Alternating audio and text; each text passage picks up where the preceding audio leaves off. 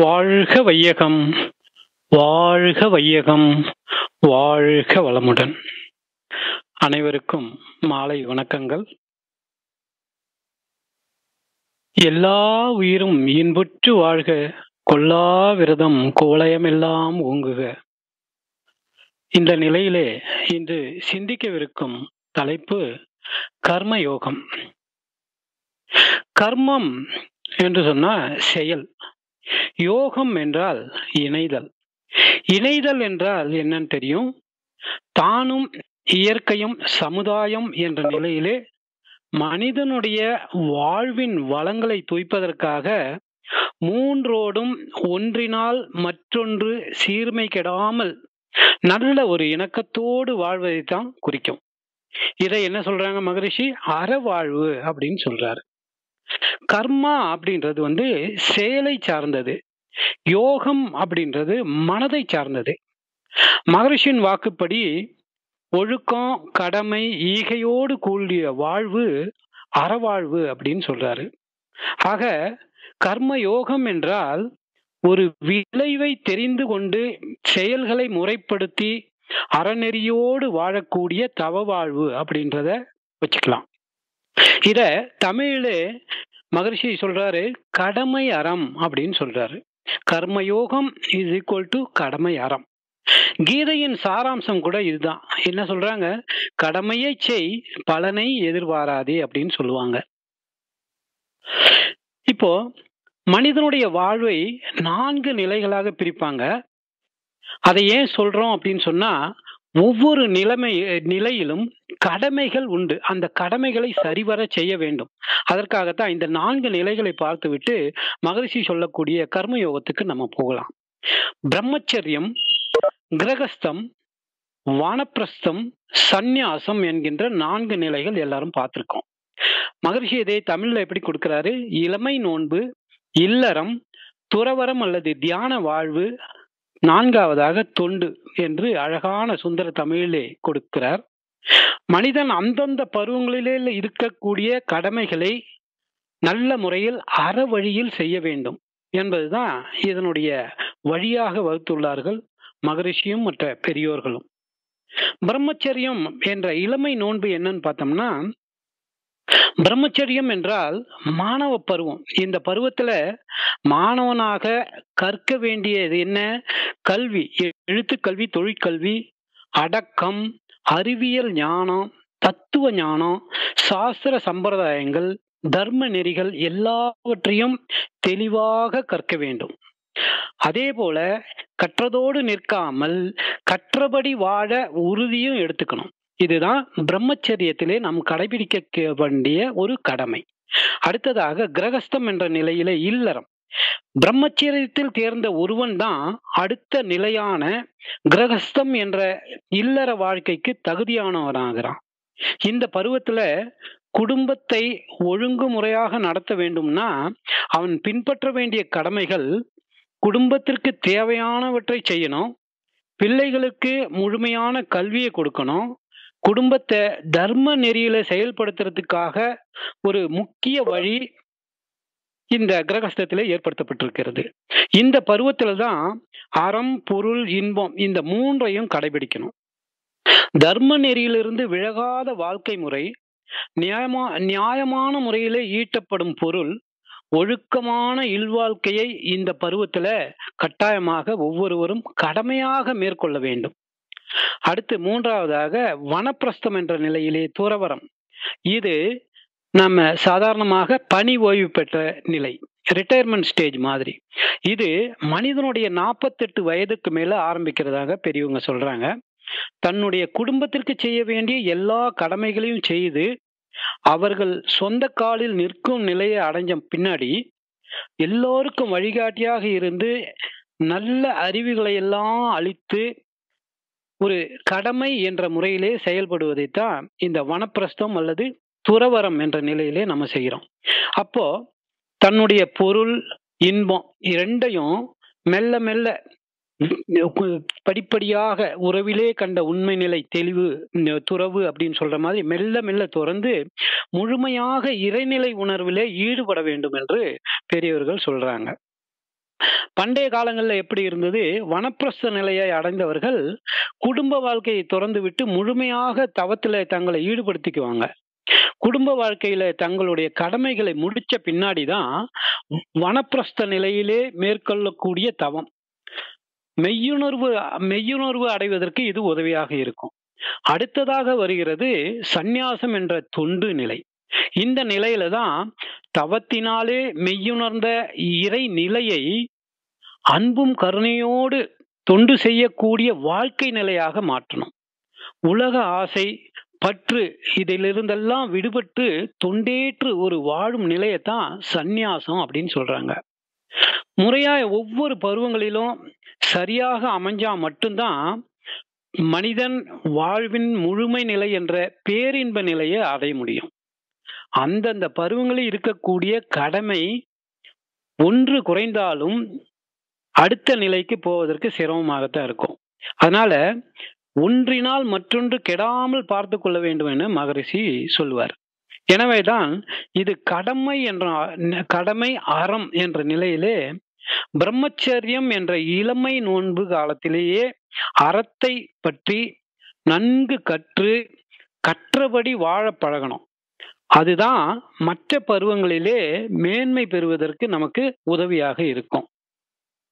உடலுக்கும் பொருளுக்கும் தொடர்பை உணர்ந்து உழைத்து உண்டு உதவி மற்றவர்களுக்கு உதவுதல் வந்து கர்மயோகம் அப்படின்னு அருட்தந்தை சொல்றாரு.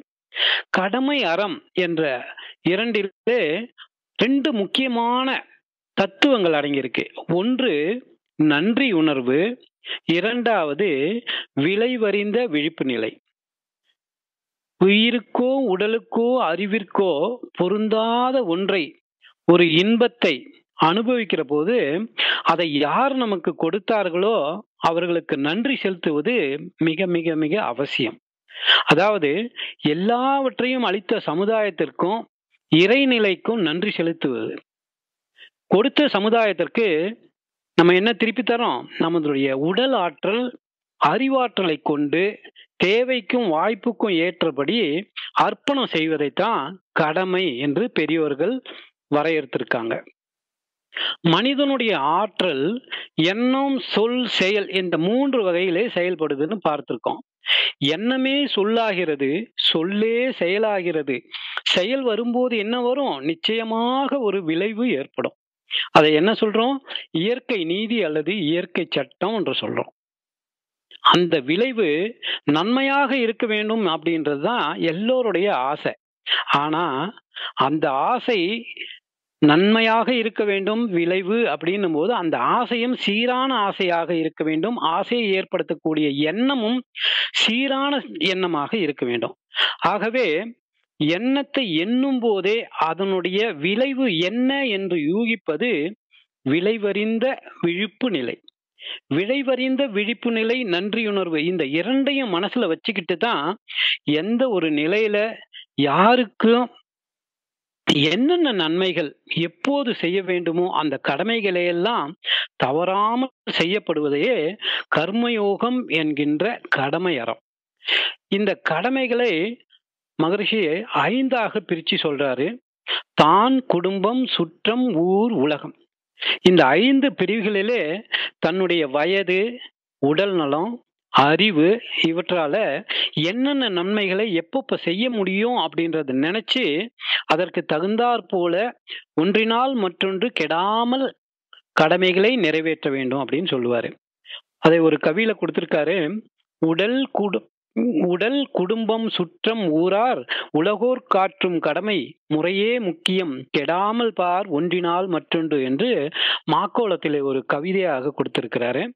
தாய் தந்தையரிடமிருந்த வந்திருந்தாலும் உடலும் அறிவும் தேவைகளை வந்து சமுதாயத்திலிருந்து தான் நம்ம எடுத்துக்கிறோம். அப்போ சமுதாயத்திற்கு அந்த வளத்தை கொடுக்கக்கூடிய அளவுக்கு தன்னுடைய உடலையும் அறிவையும் உயிரையும் நல்ல முறையில் பாதுகாத்து போற்றுவது நம்முடைய ஒவ்வொருவருடைய கடமை. கடமை மட்டுமல்ல இது ஒரு சமூக தொண்டாகவும் நம்ம நினைக்கணும். திருவள்ளுவர் சொல்றாரு அறத்தாற்றின் இல்வாழ்க்கை ஆற்றின் புறத்தாற்றில் போய் பெறுவது எவன்? தன்னையும் குடும்பத்தையும் கவனிச்சு அறவாழ்வு வார தெரியல அப்படின்னு சொன்னா அவன் சமுதாயத்துல எதையுமே சாதிக்கவே முடியாது. சமுதாயத்திலிருந்து எதையும் பெறவும் முடியாது அப்படின்றத அர்த்தமா கொடுக்கிறாரு.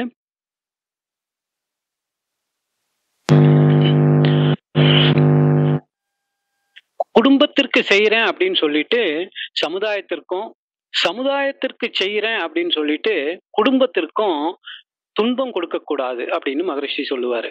சமுதாய கடமைகளையும் நன்றி உணர்வையும் அறநெறியான ஒழுக்கம் கடமை ஈகை இந்த மூன்றையும் செயல் விளைவறிந்த விழிப்பு நிலையும் கர்ம யோகத்தின் அடிப்படையாக நம்ம எடுத்துக்கலாம்.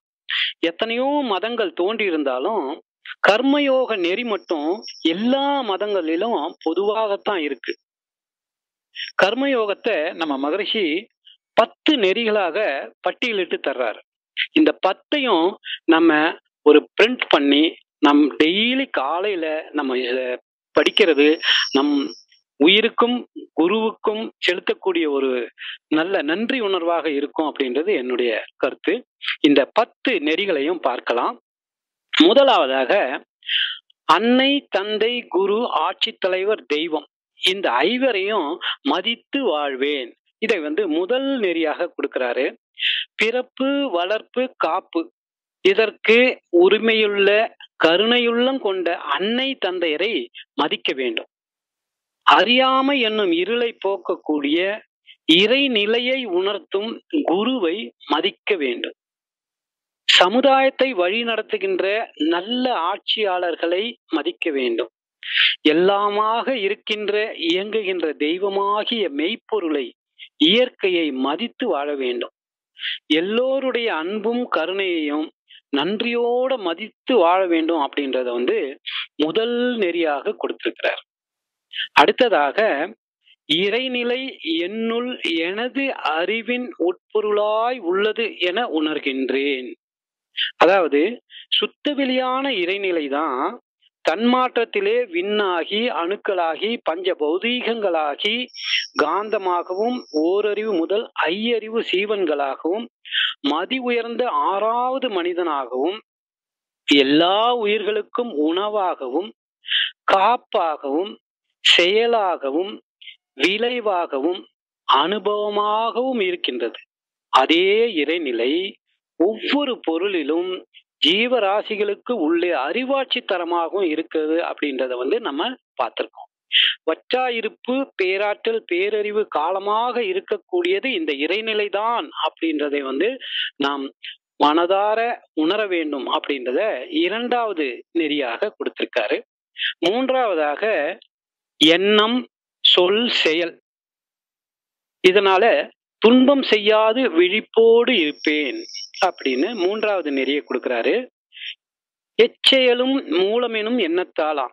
இன்ப துன்ப காரணமும் அதுவே ஆகும் என்ற மகரிஷியின் வாக்குப்படி எண்ணம்தான் சொல்லாகி செயலாகி நாம் தொடர்பு கொள்ளும் பொருள் காலம் திறமை நோக்கம் இவற்றுக்கெல்லாம் தக்க ஒரு விளைவாக இன்பமாகவோ துன்பமாகவோ இறைநிலை இயற்கை நீதி தவறாமல எல்லாம் வல்ல தெய்வம் கொடுக்குது அப்படின்றத நம்ம செயல் விளைவு தத்துவத்துல பார்த்திருக்கோம். இந்த உண்மையை நம்ம வந்து நிச்சயமாக மதிக்க வேண்டும். தனக்கோ பிறர்க்கோ தற்காலத்தோ பிற்காலத்தோ உயிருக்கும் உடலுக்கும் துன்பம் தராத முறையிலே விலை வரிந்த விழிப்பு நிலையிலே செயல்படுவேன் என்ற முறையிலே அதையே இறை வழிபாடாக கொள்ள வேண்டும் என்பதை மூன்றாவது நெறியாக கொடுத்திருக்காரு. நான்காவதாக உணவு உழைப்பு உறக்கம் பாலுணர்வு எண்ணம். இந்த ஐந்திலும் அளவு முறை காப்பேன். அதாவது தன்னை காத்துக்கொள்வதற்கு தேவையான உணவு வாழ்க்கை வளங்களை பெறுவதற்கான உழைப்பு இழந்த காந்த ஆற்றலை பெற்றுக்கொள்ள தேவையான ஓய்வு அல்லது உறக்கம் இனப்பெருக்கத்திற்காகவும் கழிவுப் பொருட்களின் உந்து வேகத்திற்காகவும் முறைப்படுத்தப்பட்ட பாலுணர்வு. எல்லாவற்றிற்கும் காரணமான எண்ணங்கள். இதனை ஆராய்ந்து முறைப்படுத்தி இந்த மேற்சொன்ன ஐந்து தொழில்களையும் அலட்சியம் செய்யாமலும் மிகையாக அனுபவிக்காமலும் அளவோடும் முறையோடும் செய்ய வேண்டும். அப்பதான் உடல் நலம் மனநலம் பொருள் நலம் சமுதாய நலம் காக்கப்படும் அப்படின்றத உறுதியாக உணர்ந்து கொள்ளணும். மிகினும் குறையினும் நோய் செய்யும் அப்படின்ற ஒரு சொல்ல நம்ம எப்பவும் மறக்க முடியாது ஐந்தாவதாக ஒழுக்கம் கடமை ஈகை என்ற மூன்றையும் இணைந்த ஒரு அறநெறி வாழ்க்கை வாழ்வேன். அதாவது எல்லா மதங்களும் போதிக்கக்கூடிய அறநெறி காத்து வாழணும். யாருக்கும் எந்த உயிருக்கும் எப்பவும் துன்பம் தரக்கூடாது. சமுதாயத்திலிருந்து பெற்ற பொருட்கள் உணவு அறிவு எல்லாவற்றையும் தன்னாலே தன் உழைப்பாலே அறிவின் ஆற்றலாலே திருப்பி கொடுத்து சமுதாய வளம் காக்க கடமை அறம் ஆற்ற வேண்டும் அப்படின்றத ஒரு நம் மனப்பூர்வமாக நினைக்க வேண்டும். அடுத்ததாக சமுதாயத்திலே நல்லுறவை வளர்ப்பதற்காக நட்புணர்வை நன்றி உணர்வை நாம் ஏற்படுத்திக்கணும். உழைக்க முடியாதவர்களுக்கு தன்னுடைய அறிவினாலும் பொருளினாலும் பிறருடைய துன்பத்தை போக்குவதற்காக எந்தவித ஒரு எதிர்பார்ப்பும் இல்லாமல் ஈந்து வாழ முயல்வேன் என்ற ஒரு உறுதிமொழியை நம்ம வந்து ஏற்கணும். எல்லா மதங்களிலும் மனிதர்களையும் உயிர்களையும் மதிக்க வேண்டும். இதைத்தான் அறநெறி வாழ்க்கை வாழ வேண்டும் என்று ஐந்தாவது கொள்கையாக கொடுத்திருக்கிறார். ஆறாவதாக தான் குடும்பம் சுற்றம் ஊர் உலகம் என்ற ஐவகை கடமைகளை செய்வேன். தனக்கு செய்ய வேண்டிய கடமைகளை செய்து கொள்ள வேண்டும். ஏன் அப்படின்னா சுவர் இருந்தால்தான் சித்திரம் வரைய முடியும். தன்னுடைய உடலை நன்றாக வைத்துக் கொள்ள மகிழ்ச்சி கொடுத்த உயர் உடற்பயிற்சிகளை எல்லாம் செய்ய வேண்டும். மன வளப்ப மனதை வளப்படுத்துவதற்காக அகத்தாய்வும் அகத்தவமும் செய்து அன்பும் கருணையும் உணர வேண்டும். ஐந்திலே அளவு முறை காக்க வேண்டும். அடுத்ததாக தன்னை சார்ந்துள்ள குடும்பத்தில் உள்ள மனைவி பெற்றோர்கள் குழந்தைகளுக்கு தேவையான கடமைகளை அந்தந்த காலத்தில் தவறாமல் செய்ய வேண்டும். பின்னர் குடும்பத்தை சார்ந்துள்ள சுற்றத்தார்களையும் தேவைகளையும் நட்பு நலத்தையும் பாதுகாக்கணும். அடுத்ததாக தனக்கு எல்லா வளங்களையும் ஏற்படுத்தி கொண்டு கொடுக்கின்ற ஊருக்கும் உலகம் என்ற சமுதாயத்திற்கும் செய்ய வேண்டிய கடமைகளையும் நாம் திருப்பி கொடுக்க வேண்டிய கடமைகளையும் தவறாமல் செய்து நட்பு நலத்தையும் சமுதாய நலத்தையும் பாதுகாக்கணும். ஒன்றினால் மற்றொன்று கெடாமலும் பார்த்துக்கணும். உடல் குடும்பம் சுற்றம் ஊரார் உலகோர் காற்றும் கடமை முறையே முக்கியம். கெடாமல் பார் ஒன்றினால் மற்றொன்று அப்படின்னு மகரிஷி சொல்லுவாரு. ஏழாவதாக சமுதாயத்திலே ஆன்மீக அறிவு பெறவும் உலக அமைதி பெறவும் தொண்டு செய்வேன். இதுல என்ன சொல்றார் அப்படின்னா தனி மனிதன் அமைப்பு பெற்றால்தான் குடும்பம் ஊர் உலகம் அப்படின்ற முறையில உலகம் அமைதி பெறும். தனி மனித அமைதியில்தான் உலக அமைதி வரும். இதுதான் மகரிஷியோட கோட்பாடு. தனி மனித அமைதிக்கு ஆன்மீக அறிவு அவசியம். ஆன்மீக வளர்ச்சிக்கு அறநெறி வாழ்வு அவசியம்.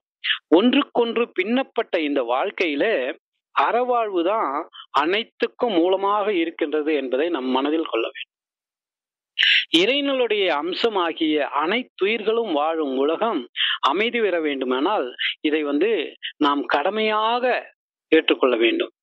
சேவை செய்ய முன்வருவோர் சமுதாயத்தில் தியாகம் விட்டு கொடுத்தல் பொறுமை அன்பு யாவையும் தன்னியல்பாக பழகிக் கொண்டு எவ்வுயிர்க்கும் கருணையோடு ஈகை செய்வோம் என்று ஞான கலைஞத்திலே ஒரு கவியை கொடுத்திருக்கிறார். அதிலே கூறுவது போல அன்பும் கருணையும் கொண்டு உலக அமைதிக்கு தொண்டு செய்யணும் அப்படின்றத மகரிஷி வலியுறுத்துறாரு. தனிமனித குற்றங்களை வந்து பெருசுபடுத்தக்கூடாது விருப்பு வெறுப்பின்றி அந்த குற்றத்திற்கும் தவறுக்கும் நீண்ட காலமாக சமுதாயத்தில் இருக்கக்கூடிய சூழ்நிலைகள் தான் காரணமாக இருப்பதை மகரிஷி சுட்டிக்காட்டுகிறார். குற்றவாளி பாவி என்று யாரும் இல்லை உலகிலே. குறைகளுக்கு காரணமோ பழைய சமுதாயமே அப்படின்னு சொல்லுவாரு.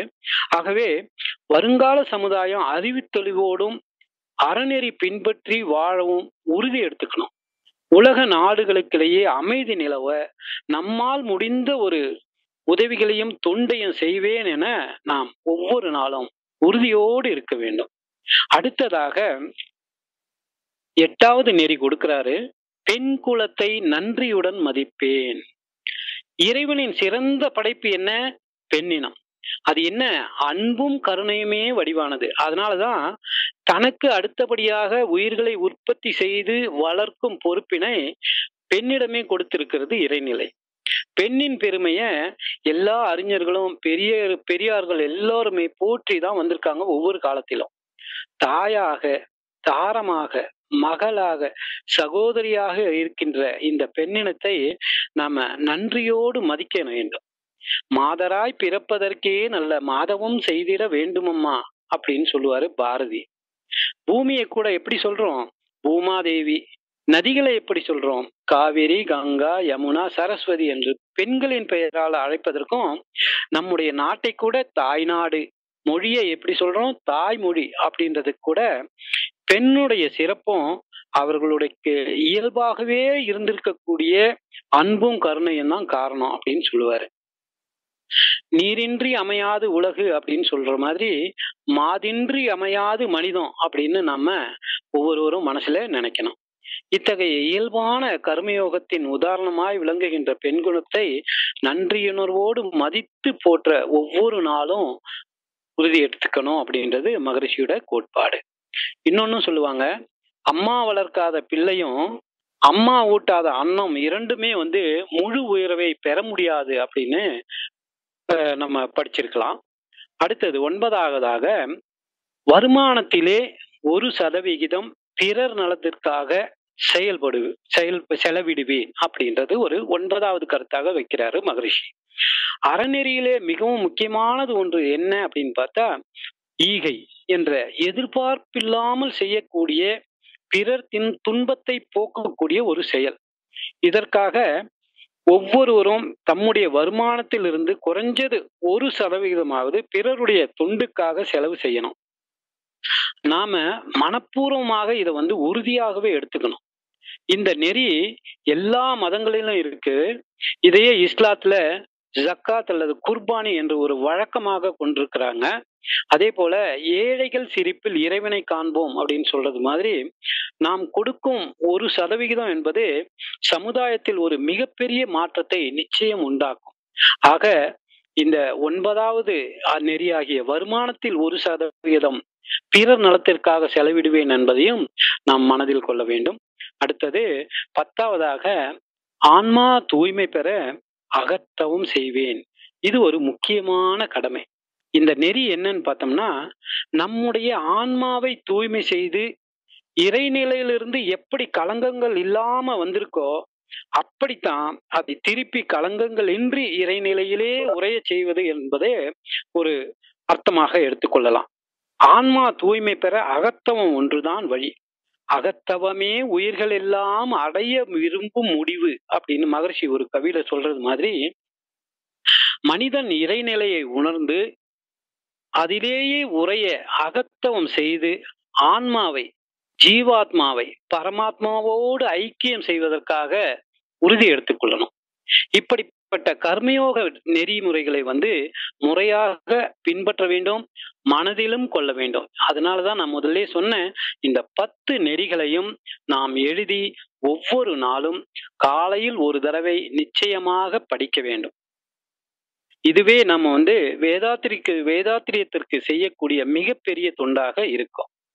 இப்போ ஒவ்வொரு நாளும் இதை படிக்கிறதோடு மட்டுமல்லாம அதை கடைபிடிக்கணும். வள்ளுவர் சொல்லுவாரு கற்க கசடர கற்றவை கற்ற பின் நிற்க அதற்கு தக அப்படின்னு சொல்றது மாதிரி என்ன படிச்சோமோ அதை வாழ்க்கையிலே கொண்டு வரணும். இம்ப்ளிமெண்ட் செய்யலைன்னா அது வேஸ்ட் ஆக பிரம்மச்சரியத்திலே தவறில்லாமல் கற்றுணர்ந்து அந்த கற்றவற்றை இல்லறத்திலே கடமையோடு அறநெறியில் வாழ்ந்து அகத்தவத்திலே மும்மலங்களையும் போக்கி சந்நியாசம் அல்லது தொண்டு வாழ்விலே பற்றற்ற நிலையிலே உலகம் உய்வதற்கு உலக அமைதிக்கு தொண்டாற்ற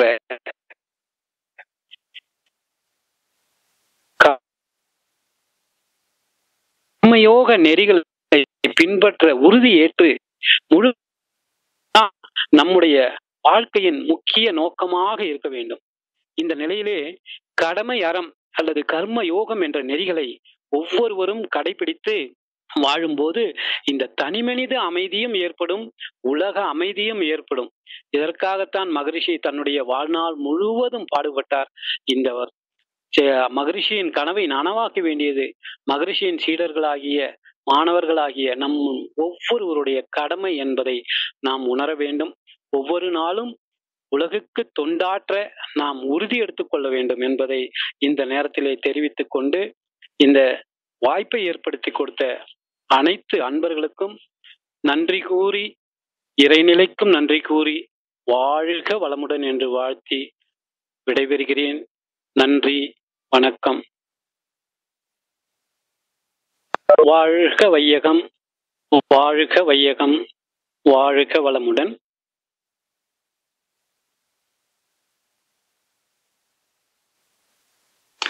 ஐயா வாழ்க வளமுடன்.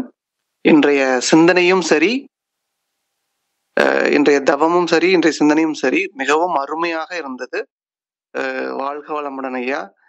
ரொம்ப தெளிவா எளிமையான நடைமுறையில ரொம்ப அருமையா கொடுத்தீங்க. வாழ்க வளமுடன் ஐயா.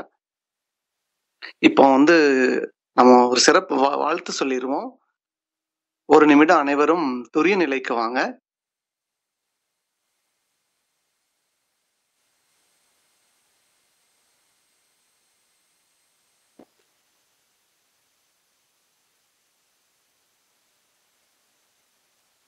இன்று சிறப்பாக நமக்கு தவம் எடுத்த அருள்நிதி அழகிரிசாமி ஐயா அவர்களை வாழ்த்துவோம்.